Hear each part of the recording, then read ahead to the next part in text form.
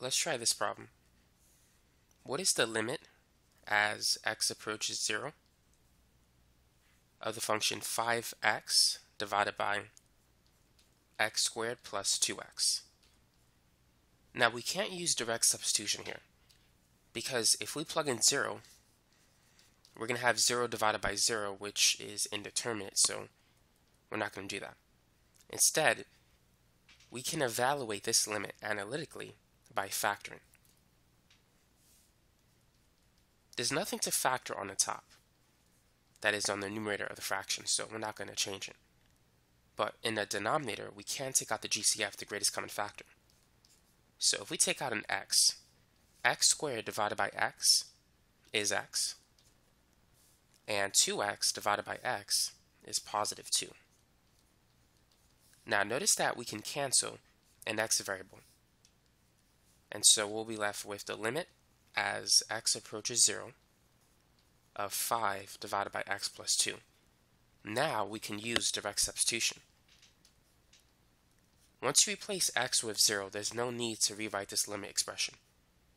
Now some teachers are picky about this, so you have to rewrite it until you replace x with this number. So the final answer is 5 divided by 2. That's the limit of this expression. Now what about this one? What is the limit as x approaches 2 of x squared plus 3x minus 10 divided by x minus 2? So we can't plug in a 2. If we do, we're going to get a 0 in the denominator. And it's going to be undefined. So we got to factor. How can we factor this trinomial? To do so, find two numbers that multiply to 10 but add to 3. Two numbers that multiply to 10 are 5 and 2. Now we can make it negative 5 and positive 2 or positive 5 and negative 2. Now we want to make it positive 5 and negative 2 because those two numbers add up to positive 3. So therefore x squared plus 3x minus 10 can be factored as x plus 5 times x minus 2. And we need to rewrite the limit expression.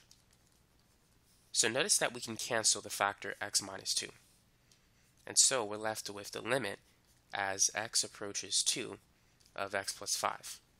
So now we can use direct substitution. We're not going to get a 0 in the denominator anymore. So it's going to be 2 plus 5, which is 7. So that's the limit.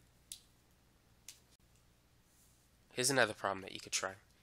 What is the limit as x approaches 3 of x squared minus 9 divided by x minus 3? So what do you think? What is the answer to this problem? Well, we need to factor x squared minus 9, and we can use the difference of perfect squares formula. So for example, if you have a squared minus b squared, it's going to be a plus b times a minus b.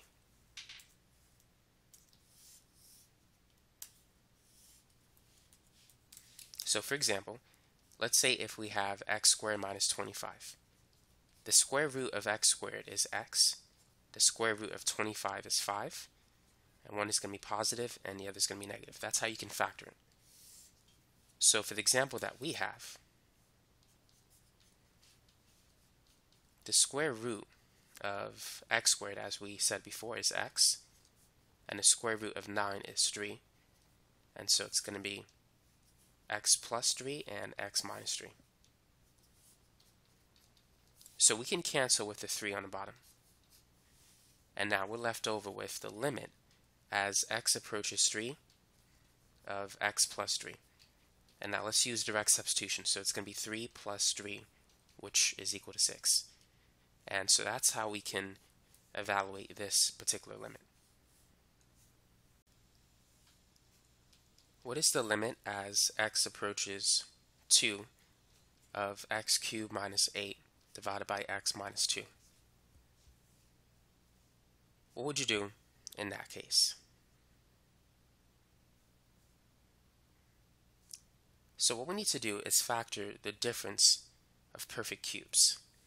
And the formula that we need to use is this one, a cubed minus b cubed is a minus b times a squared plus ab plus b squared. So in this case, a cube is x cubed, b to the third is 8. So a is the cube root of x cubed, which is x, and the b is the cube root of 8, which is 2. a squared, that's x times x, which is x squared. ab, that's x times 2, or 2x. And b squared is 2 squared, which is 4.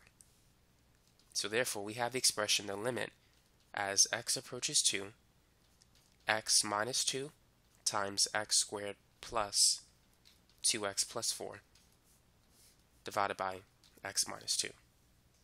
Alright, let's get rid of this stuff on the bottom. And now we can cancel the x minus 2 factor. So we have the limit as x approaches 2 of this remaining expression. And now let's use direct substitution. So this is equal to 2 squared plus 2 times 2 plus 4. 2 squared is 4. 2 times 2 is 4. And 4 plus 4 plus 4 three times is the same as 4 times 3, which is 12. And so that's the limit as x approaches 2 of this expression. So you need to be familiar with the different factoring techniques that you've learned in a typical algebra course. Now, let's try this one. What is the limit as x approaches 4 of 4 minus x divided by x squared minus 16? So take a minute and pause the video. See if you can get this one right. So what do you think we need to do here? So looking at x squared minus 16, we can see that we have a difference of perfect squares situation. So to factor it, it's going to be x plus 4 times x minus 4. But 4 minus x and x minus 4, they don't really cancel at the present moment. However, what we can do is factor out a negative 1. If we take out a negative 1 in the front and then reverse the order of 4 minus x, notice that if you take a negative from negative x, you're going to get positive x. If you take a negative from positive 4, it changes to negative 4. So by factoring out a negative 1, we now can cancel x minus 4. And so what we have left over is the limit as x approaches 4 of negative 1 divided by x plus 4. And so this is going to be negative 1 over 4 plus 4. And 4 plus 4 is 8. So the answer is negative 1 divided by 8. Now what is the limit as x approaches 4 of the expression x squared minus x minus 12 divided by x squared plus x minus 20. So we just need to factor completely. Let's go ahead and factor this expression.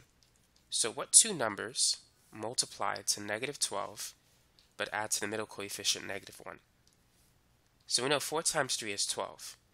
But we need to make the 4 negative because negative 4 plus positive 3 is negative 1. So this is going to be x minus 4 times x plus 3. Now what two numbers multiply to negative 20 but add to 1? Well, we know 5 times 4 is 20. But we need to make it positive 5 and negative 4 because that's going to add up to 1. So it's x plus 5 times x minus 4. So we can cancel x minus 4. And so we're left with the limit as x approaches 4 of x plus 3 divided by x plus 5. So if we plug in 4, it's going to be 4 plus 3 over 4 plus 5. Now 4 plus 3, we know it's 7.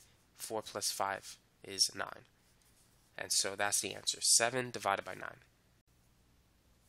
What is the limit as x approaches negative 1 of the expression 2x squared minus x minus 3 over x plus 1. So what can we do here?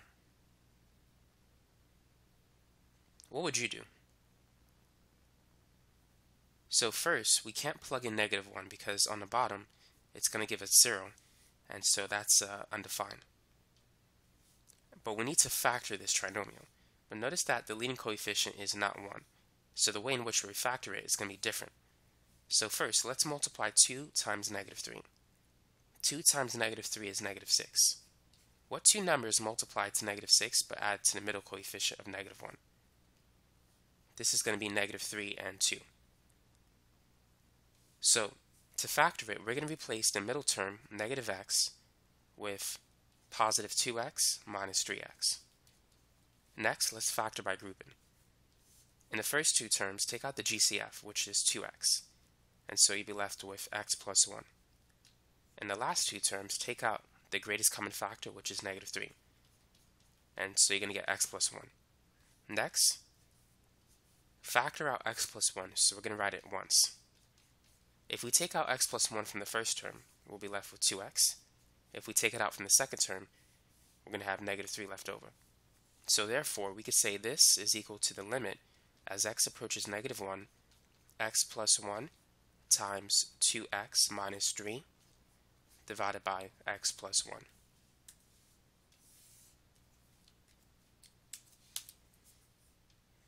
So now we can cancel x plus 1. And so we're left with the limit as x approaches negative 1 of 2x minus 3.